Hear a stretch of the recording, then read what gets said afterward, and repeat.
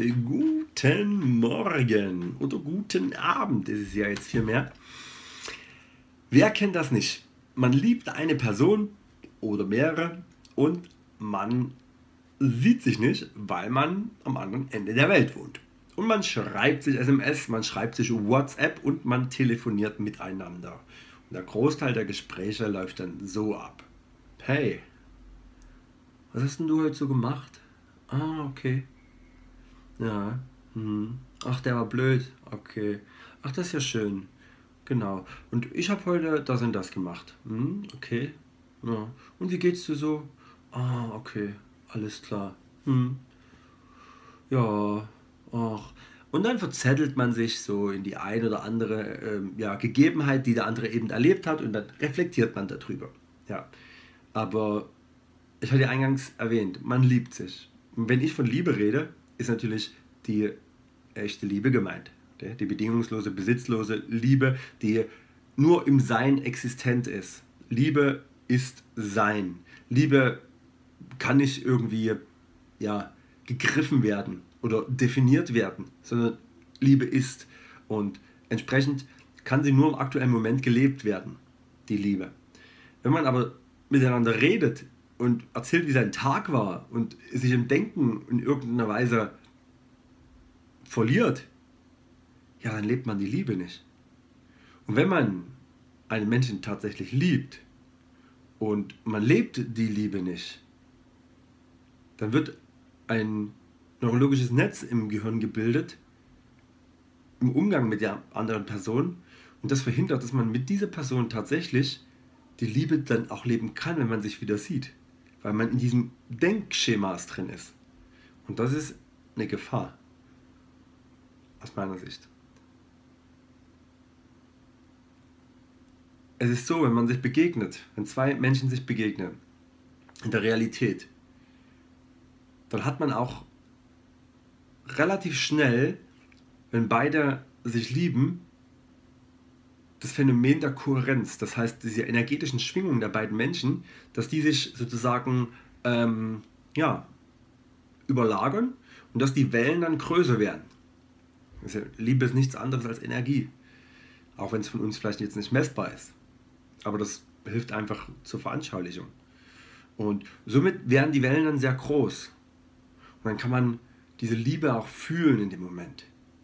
Wenn man aber so weit weg ist und die Liebe nicht lebt, sondern redet, von Vergangenheit oder von der Zukunft oder von seinen Bedürfnissen, oh, ich möchte jetzt kein bei dir sein und so, dann lebt man die Liebe nicht. Und dann äh, kommt es auch nicht zur Kohärenz, sondern jeder schwingt und man informiert sich über seine Schwingung.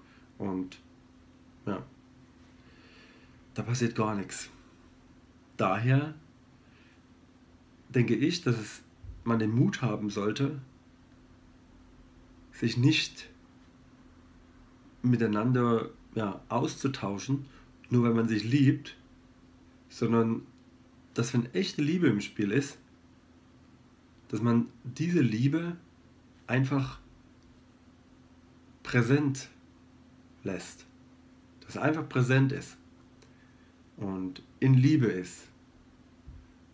Und tatsächlich dann auch mit den Sachen, die im eigenen Umfeld passieren und die existent sind, die mit einem auch gleich schwingen können, andere Personen oder die Natur, irgendwelche Energien, was auch immer, irgendwelche Zustände, dass man diese Liebe, die man auch zu der anderen Person spürt, dass man sie einfach gewähren lässt und dass man einfach auch ja, in seinem Alltag diese Liebe nach wie vor spürt.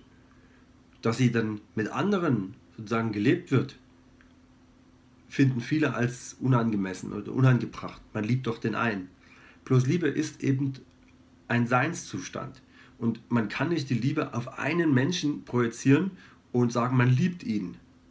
Weil man ihn auf eins projiziert, wenn man da fokussiert, man liebt nur ihn, dann würde das keinen Sinn machen, wenn man Liebe so definiert wie ich, als Zustand. Wir alle auf diesem Planeten sind verbunden in Liebe. Wir alle haben, auch wenn es nicht messbar ist, nach meiner Überzeugung einen großen energetischen Zusammenhalt. Und bei manchen ist es so, dass man nicht gleich schwingen will. Und dann ist dieses Grundnetz der Liebe, dann, dann schwingt das, dann wird es nicht kohärent, sondern man will nicht schwingen. Man schwingt unterschiedlich und das merkt man dann bei den Menschen wunderbar. Dann entsteht dann nicht kein Zusammengehörigkeitsgefühl. Und passiert häufig bei Menschen, die der Liebe eine Form geben wollen, die Liebe definieren wollen, sagen, das ist Liebe und, äh, und mit dem ähm, Liebe und mit dem nicht und die das alles so ganz, ganz in ihrem Denken ganz, ganz klar strukturieren und definieren. So, mit solchen Menschen schwingt da auch nichts. Wenn man aber Menschen findet, die tatsächlich diese Schwingung aufnehmen und dann auch wieder mit einem gemeinsam schwingen, dann kann man mit diesen Menschen lieben, schwingen, ohne dass das qualitativ irgendeine negative Bedeutung hat mit dem Menschen, den man nicht bei sich hat. Und das zu leben und das gemeinsam zu leben, diese Liebe, gemeinsam im Sinne von allen beteiligten Personen. Das ist etwas Wundervolles. Und das kann man unterstützen, indem man mit dem Mensch, der nicht zugegen ist, nicht über irgendwelche Trivialitäten, über irgendwelches, was erlebt wird oder sonst was, ständig redet. Klar kann man sich mal austauschen, aber nicht ständig jeden Tag mit dieser anderen Person redet und kultiviert so ein, ein, ein Verhalten, was nichts mit Liebe zu tun hat, also nichts mit dem Seinszustand, dass das über kurz oder lang mit der anderen Person, ja, dass da keine, man nicht mehr die Liebe leben kann. Und es ist nicht so, dass man nicht auch am Telefon Liebe leben kann. Ne? Man kann die Akustik, das, das Reden, man kann das nutzen, in Schwingung zu kommen. Aber das sind dann halt eben keine Gespräche, wie ist es gelaufen und was hast du erlebt, sondern das sind dann halt, ja, einfach vielleicht lauter oder einfach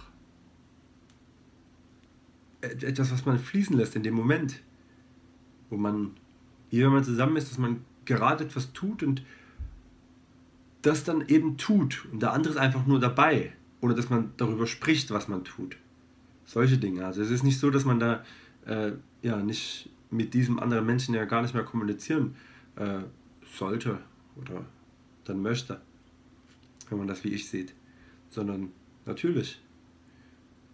Aber man sollte aufpassen, dass man dieses wertvolle Gefühl der Liebe und der einmal gespürten ja, Kohärenz, also dass man gleich schwingt, dass man das nicht zunichte macht, indem man sich gegenseitig zuschwafelt mit irgendwelchen Dingen, die in der Vergangenheit gelegen haben oder die in der Zukunft liegen, sondern dass man, wenn man sich begegnet, dass man nicht bedeckt ist von einem neurologischen Netz, was einen dann wieder in dasselbe Blabla reinfallen lässt wie bei den Gesprächen, sondern dass man sich einfach begegnet und wieder sofort im Sein ist.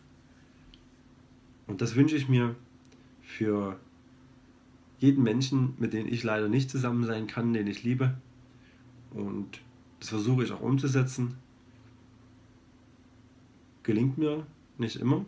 Ne? Ich verfalle da auch da rein. Deswegen ein Großteil meiner Videos passiert, äh, kommt deshalb, weil ich selber die Problematiken bei mir sehe und sie euch mitteilen möchte. Ja, aber ich möchte daran arbeiten. Und das wollte ich euch heute mitteilen. Und ich bin gespannt, ob ihr das ebenso seht oder ob ihr das als essentiell empfindet, so denn ihr die Liebesdefinition von mir teilt.